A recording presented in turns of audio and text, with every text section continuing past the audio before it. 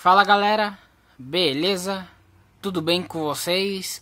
Aqui quem fala é o Mairo Rosa, também conhecido como Lorde das Figuras, e sejam todos muito bem-vindos para mais um vídeo review aqui no canal. E hoje, galera, então é aquele que solou os 5 Kages na Grande Quarta Guerra Ninja, Madara Uchiha, em sua versão exclusiva de evento.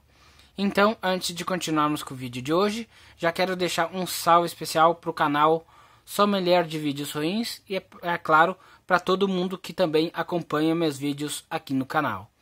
Então, galera, antes de continuarmos, já peço a vocês que deixem seu like aí no vídeo, ajude a divulgar meus vídeos e se inscreva no meu canal caso você ainda não seja inscrito. Beleza? Sem mais delongas, bora pro vídeo então. Então galera, finalmente o meu primeiro exclusivo de evento original Bandai, que nada mais é do que o Madara Uchiha para a linha do Naruto Shippuden SH Figuarts. Pois bem galera, antes de mostrarmos a caixa e tudo mais, vamos só dar uma olhada rapidinho aqui na caixa parda, que é a que vem com as figuras exclusivas de evento e com as figuras Tamashi Web Exclusive. Ok, o nome dele aqui em cima e sem nada mais importante aqui nessa caixa, ok? Pois bem, figura adquirida então na promoção da Golden Week no site da Tamashi Brasil. Foi um preço ótimo que eu paguei nessa figura. Assim como outros também que pegaram essa figura também. Não só teve uma Dara no, na promoção, como exclusivo de evento, também teve o Goku Super Saiyajin 2, o Kong, SH Monster Arts também, do filme Godzilla vs Kong, e outras figuras de Dragon Ball Z também. Ok? Pois bem, galera, então aqui está o Madara, a minha quarta figura SH Figuarts do Naruto Shippuden, ok? Para quem não lembra, eu já tive o Madara uma vez, é da primeira versão dele, que foi lançada pela Bandai alguns anos atrás, mas acabei vendendo ele junto com as outras figuras da minha coleção e agora consegui ele de novo.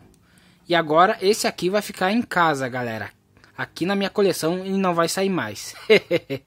Pois bem, galera, a caixa dele segue o mesmo padrão das outras caixas aí do Naruto, né?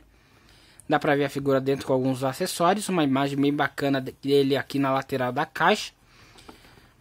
O selo de exclusividade, Exclusive Edition, Naruto Shippuden, Tamashi logotipo da Bandai Spirit, Madara Uchiha, Exclusive Edition.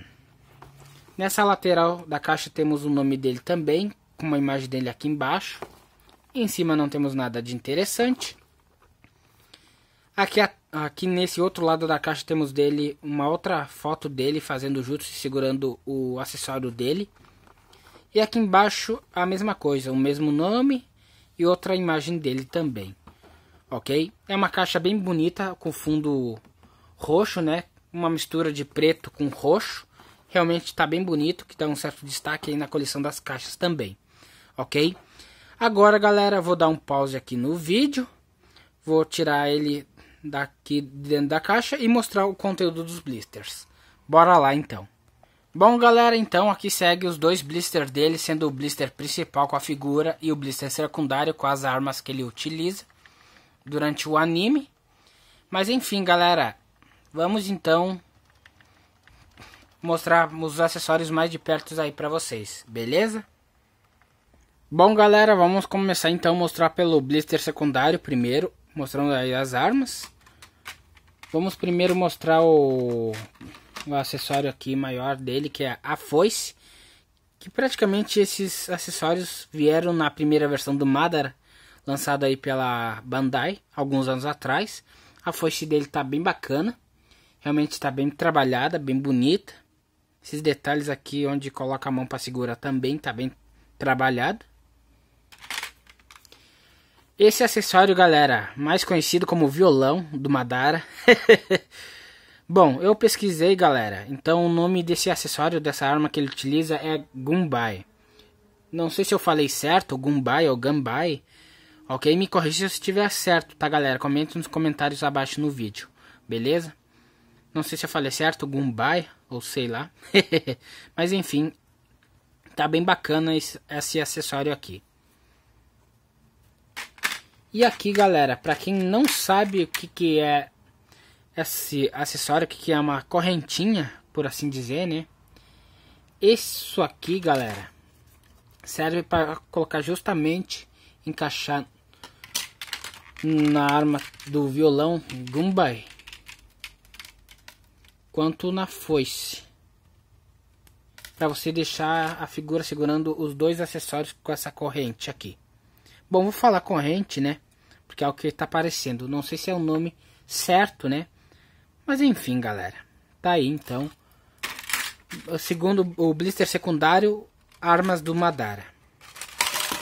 Ops. Bom, galera, já dei uma quedinha ali no blister secundário. Peço desculpas por isso. Acidentes acontecem. Mas enfim, agora temos o blister principal, que é com a figura, com os, com os pares de mãos, com o rosto e é claro com os braços extras para trocar. Beleza? Então vamos primeiro mostrar o, os rostos, é claro. Bom, galera, peço desculpas agora pela pausa no vídeo, que eu tive uma crise de tosse aqui, ok? Mas enfim, vamos olhar mais de perto o rosto dele, só deixa eu ligar a lanterna do meu celular. Então tá aqui o rosto dele do Madara gritando. Já dá pra ver o Sharingan dele, o Mangekyo Sharingan. Eu acho que é o Sharingan comum mesmo. Mas enfim, próximo rosto então.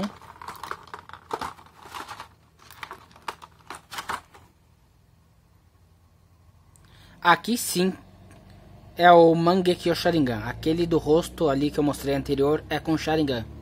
Esse aqui é com Mangekyo Sharingan. Tá bem bonito mesmo o rosto dele. Ainda mais com esses olhos que dá pra ver bem à vista mesmo. Agora temos os braços extras, né? Para você deixar ele na figura. Não vou mostrar a articulação dele agora, porque eu vou mostrar diretamente na figura depois. Beleza? Ele já tem com o, o par de punhos fechado já nos braços.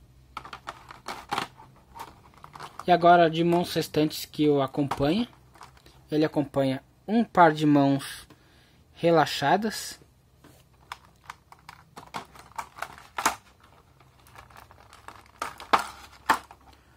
um par de mãos para segurar as armas e por fim um par de mãos para fazer os jutsus. É isso, galera. Esses então são praticamente todos os acessórios que acompanham o Madara. Vou dar um pause rapidinho aqui no vídeo e arrumar a figura aqui e volto já para vocês, beleza? Bom, galera, então tá aqui o Madara fora do blister. Antes de falarmos de mais detalhes dele, vamos então falar da altura dele. Madara tem de altura 15 centímetros de altura, um pouco mais que isso, quase 16. E é claro que eu trouxe aqui para comparar mais duas figuras da mesma linha, que são o Naruto e o Sasuke. Bom, primeiramente, galera, como se trata de um reaproveitamento da primeira versão do Madara, galera, eu fiquei com o pé atrás de pegar ele, por quê? Porque eu sinceramente achei que ele fosse um pouco menor que os outros, mas acabou não sendo. Então tá aí, galera. Um breve comparação de tamanho com as outras figuras aí da linha. Beleza? Então, finalmente o Madara exclusivo de evento na minha coleção e como eu falei, esse aqui vai ficar na minha coleção e não vai sair mais. Tá tão bonita essa figura, galera. Valeu mesmo o valor que eles cobraram aí na promoção, que foi de 399 reais. Enfim. O que muda desse aqui pro antigo? Bom, primeiramente a caixa, né? Já que essa nova segue os padrões da nova geração de figuras do Naruto. E também na questão da pintura que é, sinceramente eu acho bem essa pintura metalizada bem mais bonito e chamativo do que o outro. Apesar do outro ter ficado caro com um pouco tempo ali. Mas enfim.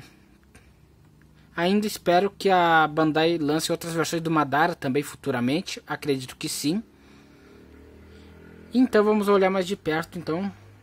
E o outro rosto que já vem na figura, galera. Que é o rosto medonho dele. Com o Rinnegan Sinceramente, galera, Pelo que eu reparei, um, esse olho parece mais bravo do que o da primeira versão dele. Não me lembro exatamente, pois já faz um bom tempo que eu vendi o meu antigo Madara, então não me lembro exatamente, ok? Esses traços dele, quando ele é ressuscitado aí durante a Quarta Guerra Ninja, ele já tem esses traços aí no rosto. Então isso representa tanto quanto ele está lutando na Quarta Guerra Ninja, quanto os outros rostos que ele representa quando ele estava lutando aí com o Hashirama. Enfim. E outra coisa, galera, que eu notei pessoalmente, que o cabelo dele não é preto assim como deveria. Não lembro se a minha primeira versão que eu tive dele era totalmente preto ou era um tom azulado como esse aqui. Se alguém souber aí, galera, que tem um antigo, por favor, confirmaria para mim se mudaram a cor do cabelo dele, porque eu não me lembro mais. Beleza? Enfim, além disso, a cor da armadura metalizada também tá bem bonito e chamativo aí para deixar na sua coleção. Beleza, galera? Então, para tirar os braços aqui, você tem que levantar a ombreira dele com cuidado para não acabar saindo. Você desencaixa aqui um do braço no outro e já já saiu um braço já saiu o outro. Você coloca um. Pronto, fez crack. Encaixou.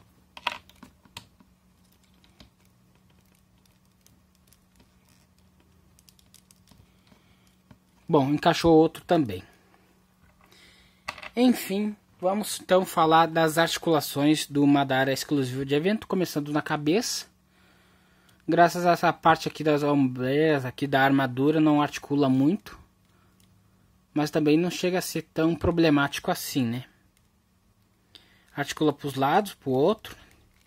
O cabelo também tem pontos de articulações, como vocês podem ver aí também.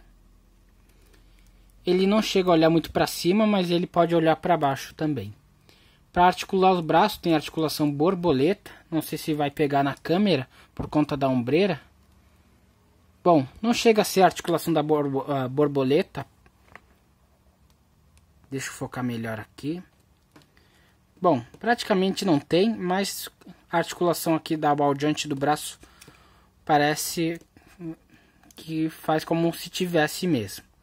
Então aqui o braço. Perdão aí para confusão, tá galera? Não tem articulação borboleta, mas graças a baldeante aqui em cima do ombro, parece faz parecer que tem. Mas enfim, continuando aqui, o braço dele gira 360 graus. Ele abre um pouco mais de 90 graus, levemente mais. Tem articulação giratória no bíceps dele. Tem articulação dupla no cotovelo. Tem a ball joint no alto da mão aqui que gira, vai para os lados para o outro. Bom, aqui galera, assim como o primeiro, graças a essa armadura ele não tem articulação no tronco, né? Só se você articular um pouco aqui por dentro, mas é bem limitado mesmo. Outro ponto que é limitado, galera, é na parte das pernas. Tem articulação aqui no saiote, para você poder articular as pernas. E esse material maleável, galera. Bem que a Bandai podia ter corrigido isso e feito um material melhor, mais emborrachado para você artic poder articular a perna para frente. Infelizmente, graças a isso é limitado, mas porém tem articulação na perna que vai para frente, não vai muito para trás por conta desse saiote emborrachado. Ele vai, ele abre um pouquinho, mas é bem limitado também. Tem articulação dupla no joelho e tem articulação no pé dele que articula bastante, inclusive, e no dedo também. Beleza, galera? Então, essas são as articulações do Madara Uchiha. Para trocar a, a, face, basta você pegar a franja do cabelo dele, tirar o rosto e pegar um outro à sua escolha. É simples. Bom, galera, peço desculpas mais uma vez aí pela intromissão aqui no vídeo, porque o cachorro do meu vizinho ficar uivando aí. Mas enfim, é assim que se troca a face dele, beleza? Antes de irmos para as considerações finais da figura, vamos então deixá-lo em algumas poses, ok? Em seguida a nota final, beleza? Para trocar a mão, também praticamente bem simples. Puxa aqui encaixa a outra ali. Prontinho. Então, galera, bora para as poses então. Ops.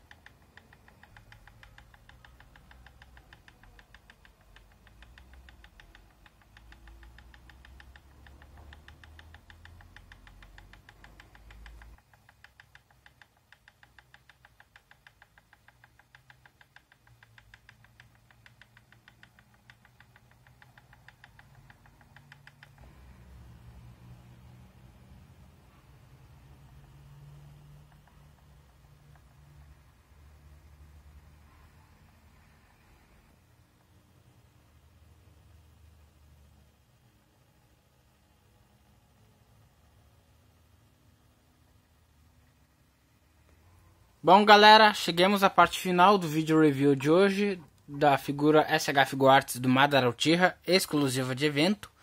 Galera, realmente a figura muito bonita, principalmente por conta das cores dele. Esse vermelho metalizado que se destaca bastante junto com as outras figuras.